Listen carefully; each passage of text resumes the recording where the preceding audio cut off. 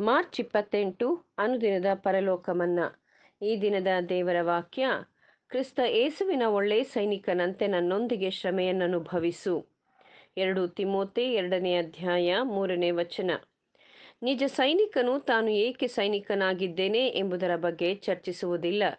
ತಾನು ಸೈನಿಕನಾಗುವ ಮೊದಲೇ ಅದು ನ್ಯಾಯ ಮತ್ತು ನೀತಿಗನುಸಾರವಾಗಿದೆ ಎಂಬುದನ್ನು ತೀರ್ಮಾನಿಸಿರುವನು.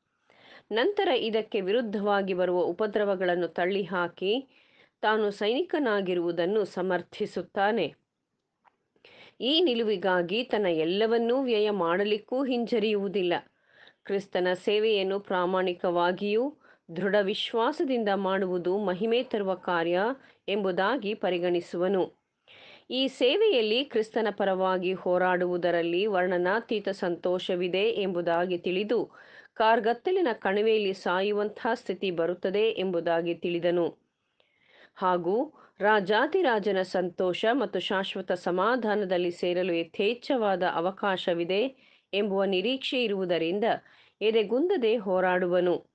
ಇಂತಹ ನಿರೀಕ್ಷೆ ನಮ್ಮ ಮುಂದೆ ಇರುವುದರಿಂದ ಈ ಬಲಯುತ ಹೋರಾಟ ಮಾಡಲು ಧೈರ್ಯಗೆಡದೆ ಮತ್ತು ವೈರಿಯ ಉಗ್ರತೆ, ಹಸಿವು, ಬಾಯಾರಿಕೆ, ವಸ್ತ್ರವಿಲ್ಲದಿರುವುದೋ ಹಿಂಸೆ ಬಾಧೆಗಳು ಕೊನೆಗೆ ಮರಣವನ್ನು ಮೀರಿ ನಡೆಯುವವನಾಗಿರುವನು.